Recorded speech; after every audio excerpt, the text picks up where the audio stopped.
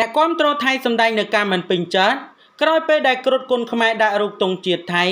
នៅក្នុងខ្សែក្រវ៉ាត់ដោយទាមទារឲ្យដកទង់ជាតិរបស់គេចេញបងប្អូនជាទីគោរពរាប់អានបងប្អូនប្រកាសជាដឹងហើយថាថៃ មិនគាំទ្រគុនខ្មែរនោះទេនាពេលកន្លងទៅថៃតែងតែទាមទារឲ្យខ្មែរនឹងគោរពទៅតាមអ្វីដែលគេចង់បាន ជាពិសេសកាលពីព្រឹត្តិការណ៍អាស៊ានស៊ីហ្គេមដែលកម្ពុជាធ្វើជាម្ចាស់ផ្ទះ ថៃគឺសម្ដែងនៅការមិនពេញចិត្តនោះឡើយក្រោយពេលដែលកម្ពុជា បានដាក់ក្រោមគុណខ្មែរនៅក្នុងការប្រកួតនោះដោយថៃគេបានទៀមទាឲ្យដាក់ក្រោមមួយថៃ នៅក្នុងសកម្មភាពមួយនេះក៏ថៃគេមិនបានបញ្ជូនអត្តពលិកប្រកួតក្រោមគុណខ្មែរនោះឡើយនៅក្នុងវិញ្ញាសាគុណខ្មែរនោះពាក់ព័ន្ធជាមួយនឹងរឿងនេះផងដែរដែលអស់បន្លាយរហូតមកទល់នឹងពេលបច្ចុប្បន្ននេះអ្នកគ្រប់គ្រងថៃ ដែលមានជាតិនិយមនោះក៏នៅតែទៀមទាឲ្យកម្ពុជាជាពិសេសគ្រុឌគុណខ្មែរដែលមានដាក់រូបទង់ជាតិថៃដកទង់ជាតិរបស់គេចេញនៅក្នុងសកម្មភាពមួយនេះកើតឡើងនៅក្នុងពេលថ្មីថ្មីបង្កឲ្យមានការភ្ញាក់ផ្អើលយ៉ាងខ្លាំងដូច្នោះកុំឲ្យប្រិយមិត្តរបស់យើងរងចាំយូរសូមមេត្តាជួយ Subscribe និង Like ដើម្បីទទួលបាននូវព័ត៌មានថ្មីថ្មីបន្ថែមទៀតក្រោយពេលដែលព្រឹត្តិការណ៍កីឡា នៅក្នុងកម្ពុជាប្រទេសកម្ពុជាកាន់តែមានការរីកចម្រើន កម្ពុជាក៏បាន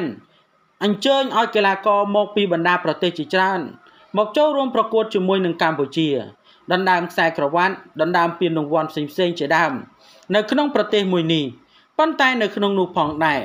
មួយរយៈចុងក្រោយក្រោយពេលដែលថៃហាក់បីដូចជារើសអើងចំពោះកីឡាករខ្មែរនៅក្នុងនោះផងដែរថៃក៏ចាប់ផ្ដើមងាករេមិន យកកីឡាករខ្មែរទៅប្រកួតដូចពីមុនឡើយកម្ពុជាក៏កាត់បន្ថយនៅក្នុងការយកកីឡាករថៃមកប្រកួតដូចគ្នា ចំពោះករណីដែល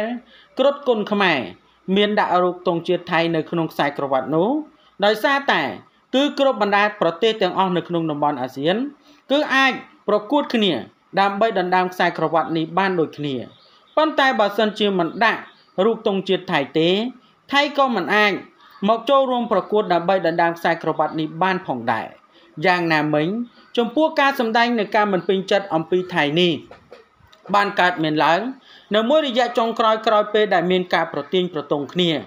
ដែលថៃគេអះអាងថាក្បាច់គុនគេគឺជាក្បាច់គុន original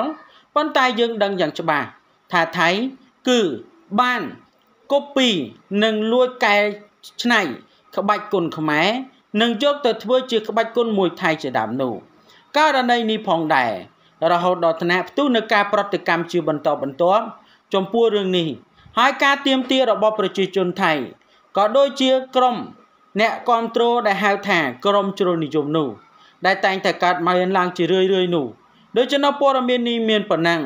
ដើម្បីទទួលបាននូវព័ត៌មានថ្មីៗបន្ថែមទៀតសូម Subscribe និង Like